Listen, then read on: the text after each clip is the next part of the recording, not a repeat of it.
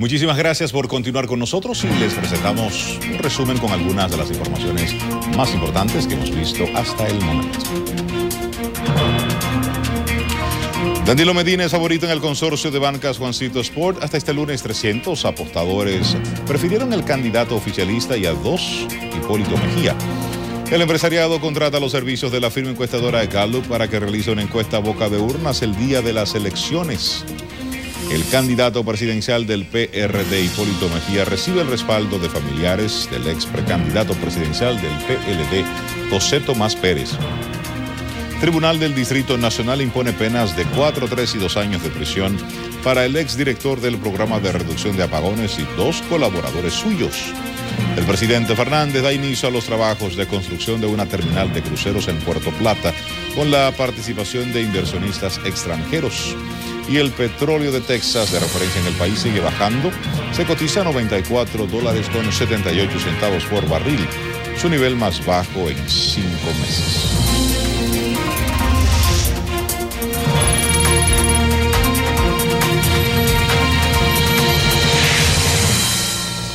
En nuestro mural ciudadano, el Centro de Operaciones de Emergencias mantiene los niveles de alerta verde por inundaciones repentinas y deslizamientos de tierra para las provincias Duarte, La Vega, Sánchez Ramírez, Hermanas Mirabal, Santiago y Espaillat.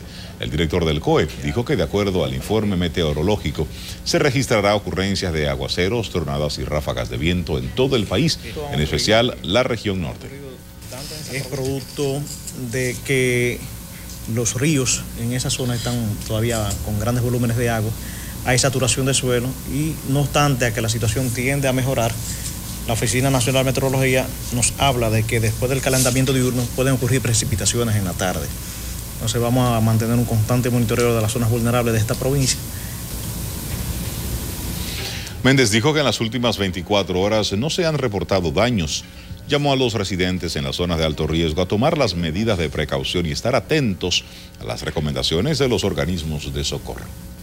Y decenas de mujeres del sector Proyecto Rondón en Mayor del Rey quemaron neumáticos en protesta por la falta de drenaje y el arreglo de sus calles. Giovanni Javier con los detalles en la siguiente historia.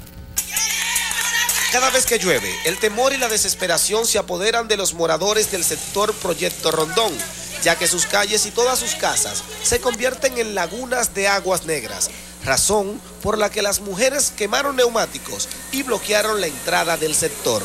Le pedimos a la autoridad que vengan arreglando esto, que eso es lo que nosotros queremos, que nos preparen esa calle, que, cuando llueve las casas se inundan de agua y la cama anda rotuteando, que, que tenemos que despertar a medianoche. Lo que queremos es que nos pongan atención con esa laguna que tenemos ahí, eso se está llenando, mira, hay mosquitos, de todo hay. Entonces, en esta calle somos tan dichosos que no vienen ni a darnos cocotazos. Ellos quieren votos, nosotros nada más no somos votos para ellos, nosotros somos seres humanos con necesidades.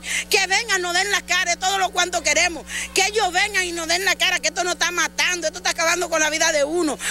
Ante tal situación, algunos vecinos han optado por mudarse, mientras que pequeños comerciantes del sector se quejan por las pérdidas que han tenido. Ahí en esa casa azul, como se puede ver, está cerrada porque ahí no puede vivir nadie. Cada vez que llueve se inunda todo eso y se inundan todas las casas por aquí. Los que vivían ahí se tuvieron que ir porque el agua no se ponía media, media de agua se ponía esa casa. Mira, fíjate ese motor como viene ahí, que se han quedado enchivados ahí. Yo tengo un negocio que por ahí ayer la venta, no pude abrir el negocio porque me cayó la venta al saco de chaco. Porque yo salgo por ahí por ese callejón con mi venta para ir para frente del cementerio donde yo trabajo. Y ayer se me cayó la venta en medio chaco.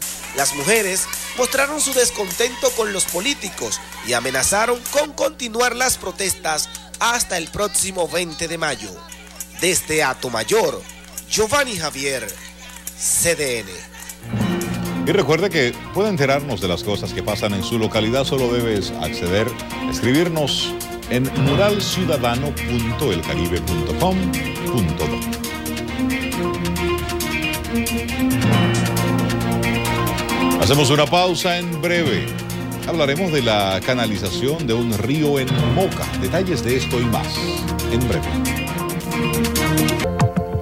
Cada día invertimos 120 millones en empresas privadas que dan trabajo a 29 mil personas También invertimos en mejorar la educación de más de 4.000 estudiantes de comunidades de escasos recursos para que tengan oportunidades de futuro. Somos más que un negocio financiero. Tocamos vidas. Somos popular. En un mundo perfecto tendrías el carro perfecto y vivirías en un lugar perfecto y tuvieras el hombre perfecto que te haría la propuesta perfecta. Comerías todo lo que quisieras y no engordarías ni una libra. Y tendrías el closet de una superestrella. Pero no vivimos en un mundo perfecto. Todavía. Con la nueva colección de lujo Oasis es posible. 12 ganadores de un Mercedes-Benz ML300 2012.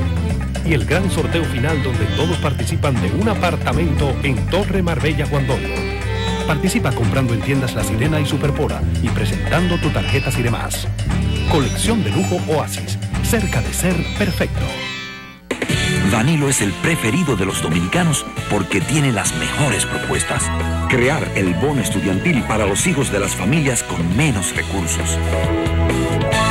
Implementar la tanda extendida en educación.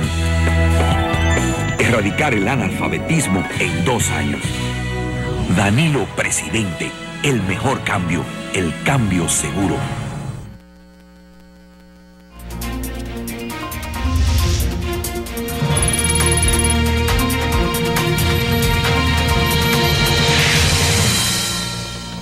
Continuamos con las informaciones y el presidente de la Junta Central Electoral emplazó al candidato presidencial del PRD, Hipólito Mejía, a que muestre las pruebas de supuestas presiones desde el gobierno a los miembros del Tribunal de Elecciones y aseguró que todos los votos serán contados el día de las elecciones. Julio Caraballo está en el Tribunal de Comicios con más detalles. Adelante, Julio. Gracias, Reinaldo. Como indicas, el presidente de la Junta Central Electoral hace menos de dos minutos, para decirlo así, de esa manera, en un tiempo eh, récord, eh, le dijo a Hipólito Mejía, o más bien le garantizó que todos los votos le serán contados uno por uno e indicó que la Junta Central Electoral no recibe presiones de, por parte del gobierno y que si él o algunos de sus dirigentes recibe presiones por, parte del gobierno o de alguna entidad del Estado, lo invitó a que mañana a cualquier hora que Hipólito Mejía o que algunos de sus representantes así lo consideren, vengan a la Junta Central Electoral a presentar su querella o su denuncia. Indicó que para ello, además de los miembros del Pleno de la Junta Central Electoral, estarán presentes eh, algunos de los observadores de la Organización de Estados Americanos con la finalidad de que de la formalidad de la, de la denuncia, la que Roberto Rosario calificó de grave o muy grave e indicó que eso no puede suceder en la Junta Central Electoral. Pero vamos a ver lo que le dijo Roberto Rosario al candidato presidencial del Partido Revolucionario Dominicano, Hipólito Mejía. En consecuencia, de conformidad con los preceptos constitucionales, legales y convencionales anteriormente expuestos, la Junta Central Electoral invita formalmente al ingeniero agrónomo Rafael Hipólito Mejía Domínguez, candidato presidencial del Partido Revolucionario Dominicano y aliados, a agotar la formalidad de la presentación de las quejas, sugerencias y recomendaciones al respecto a través de sus representantes acreditados o en su propia persona, si así lo considerare y depositar por escrito toda la información que permita a la Junta Central Electoral determinar quién o quiénes han incurrido en esta práctica, para de inmediato proceder a adoptar los correctivos del lugar si fuera el caso. A tal efecto, el presidente de la Junta Central Electoral en persona recibirá al candidato o a sus comisionados a la una de la tarde del martes 15 de lo corriente en el despacho de la presidencia de la Junta Central Electoral. Para estos fines, He solicitado a la misión de observación de la Organización de Estados Americanos para que nos acompañe al momento de la recesión de tan grave denuncia. Como ustedes escuchaban, Roberto Rosario indicó además que está dispuesto no solamente en el caso de Hipólito Mejía y el PRD a escuchar su denuncia, sino de cualquier candidato de los seis que aspiran que deseen querellarse en la Junta Central Electoral y manifestó y reiteró que los comicios serán transparentes. Reinaldo. Muchísimas gracias, Julio. Era nuestro compañero Julio Caraballo desde la sede de la Junta Central Electoral. Cambiamos ahora de tema y tenemos que el gobierno concluyó en tiempo récord la construcción de dos muros de gaviones en las riberas del río Moca, en los barrios Puerto Rico e Isla Perdida, para proteger de inundaciones a más de 2.000 familias. Los dirigentes comunitarios Rafael Díaz y Francisco Rodríguez agradecieron al presidente Fernández y al ministro de Obras Públicas la prontitud en que fueron ejecutados estos trabajos y de inmediato le dio orden a, Obra Pública que realizara los trabajos de construcción de los gaviones de esta comunidad y Obra Pública está trabajando y el, y el gobierno cumpliendo. La comunidad le agradece infinitamente su honestidad y su capacidad de entender cuando una comunidad en verdad necesita una obra. La zona había sido visitada por el presidente Fernández, quien de inmediato dispuso la realización de los trabajos para proteger a las familias que eran afectadas por las inundaciones. En otro orden, los restos de Rafael Evans, ex cónsul general de la República Dominicana en New York y miembro del Comité Central del Partido de la Liberación Dominicana, fueron sepultados este lunes a las 10 de la mañana en el cementerio Cristo Redentor. Evans falleció la madrugada del domingo, luego de haber permanecido varios meses recibiendo atenciones médicas para enfrentar una enfermedad terminal. En su gestión al frente del consulado, se dijo que logró transformar positivamente la imagen física de la institución y reorganizar su funcionamiento.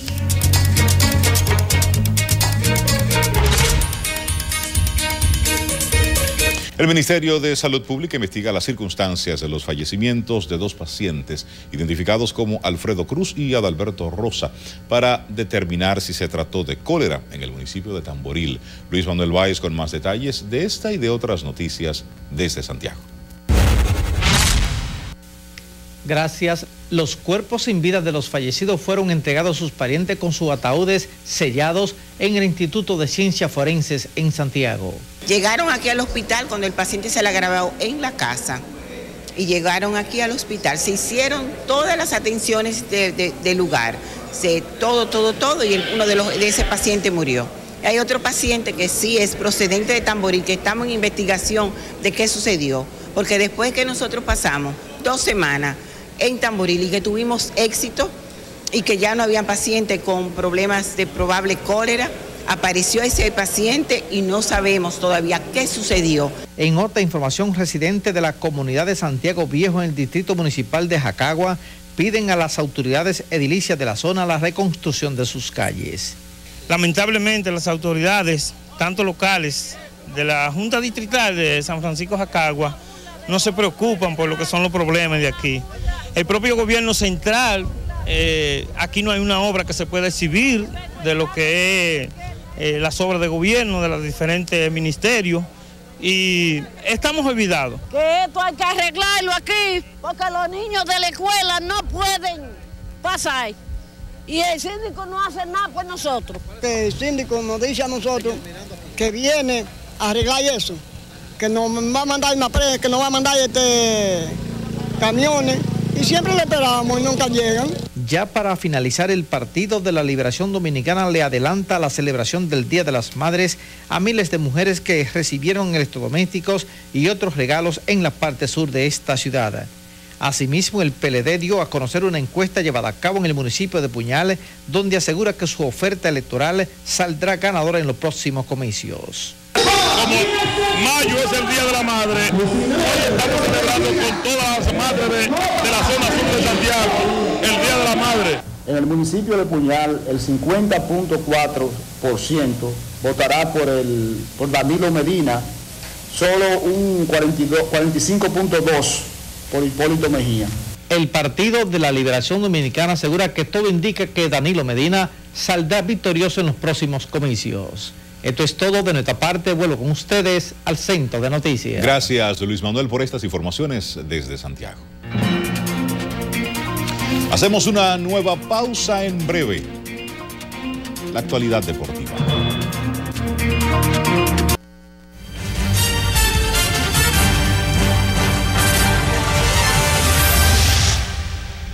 Una actuación soberbia de nueve cuadrangulares de Josh Hamilton le hizo merecedor del premio pelotero de la semana en la Liga Americana. Tenemos los detalles en las deportivas de SDN. El jardinero de los vigilantes, Josh Hamilton, fue nombrado jugador de la semana de la Liga Americana.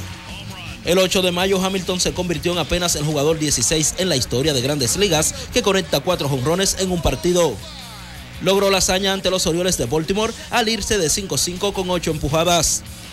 Estableció una marca de la Liga Americana con un total de 18 bases alcanzadas. El viernes Hamilton pegó dos honrones más contra los angelinos y agregó uno el sábado. En total, Hamilton bateó para 4.67 durante la semana, con dos dobles, nueve cuadrangulares, 18 remolcadas, 10 anotadas en 7 partidos. En la Liga Nacional, el premio recayó en el jardinero de los Cardenales, Carlos Beltrán. En seis partidos la semana pasada, Beltrán bateó 3.60 y encabezó la liga en jonrones con 6 en total, también en bases alcanzadas con 30 y en slogan con 1.200. El boricua bateó de hit en 5 de los 6 juegos de San Luis, conectando jonrones en 4 de ellos. Neftali Ruiz, CDN. Hacemos una pausa en breve las sociales.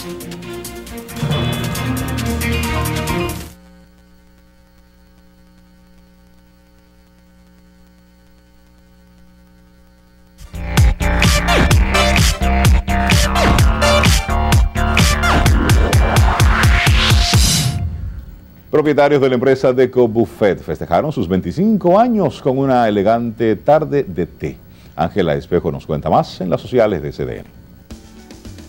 A tempranas horas de la tarde fueron arribando distinguidas damas de la sociedad dominicana, vestidas elegantemente para la celebración de los 25 años de Deco Buffet junto a su directiva, quienes agradecieron a sus clientes por el apoyo brindado durante los años de servicios gastronómicos que el que se lo propone lo logra, con honestidad, con esfuerzo, con respeto, con responsabilidad. Y realmente eh, la bendición más grande que el Señor me ha permitido que la nueva generación, la generación de, de, relevo, esté conmigo desde pequeña. Estamos sumamente gozosos, agradecidos de Dios por su fidelidad y también muy emocionados porque ver a nuestros padres como iniciaron eh, con solo siete empleados y hoy poder sustentar, ¿verdad? Que seamos la fuente de, de, trabajo para más de 130 familias. Es un gran logro y con el amor, con el respeto, con los valores humanos que le han destacado su trabajo siempre. El evento fue realizado en el Museo de las Casas Reales, que fue ambientado cuidadosamente para la celebración, causando admiración a las damas invitadas por la armonía, los colores y los efectos empleados en la decoración. En otra nota social, ejecutivos de Celco Auto y Autogermánica presentaron el nuevo BMW Serie 3 y el inicio de Celco Weekend Fest durante un encuentro con un selecto grupo de invitados, donde los directivos invitaron a los presentes a realizar un recorrido por las instalaciones. Eh, aquí nos sentimos muy orgullosos de tener esta presentación esta noche aquí por Celco Auto, el nuevo modelo de BMW Serie 3. En esta ocasión, eh, gracias a Autogermánica, tenemos la, esta primicia para toda eh, la ciudad, o República Dominicana. El encuentro se desarrolló en un ambiente acogedor y contó con la presencia de clientes, amigos y relacionados, quienes observaron las nuevas mercancías expuestas en la actividad. Con estas actividades sociales hemos llegado a la parte final. Ángela Espejo en las sociales de CDN.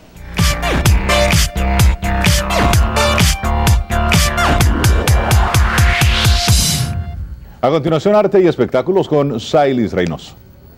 Yo diga con cuatro, tú vas a cantar carrito rojo de carrera. ¿Ok? Es muy fácil. La presentadora de televisión Jenny Blanco no califica para participar en el concurso de belleza Miss Mundo que se celebrará en China. Según informa Diani Mota, directora del concurso en el país, recibió una comunicación de la presidenta de la organización Miss Mundo que le indicaba que Blanco no califica para la competencia debido a que el certamen limita la edad en 25 años y Jenny Blanco sobrepasa. En ese sentido, Mota también informó que Blanco fue seleccionada para trabajar en la conducción del backstage para la web del concurso desde China. Trascendió que la comunicadora se siente triste por no competir, pero que a la vez está contenta por el reto que tiene que enfrentar en China. ¡Un aplauso! Jenny, Y si una gente te dice, mira Jenny, tú no cantas, tú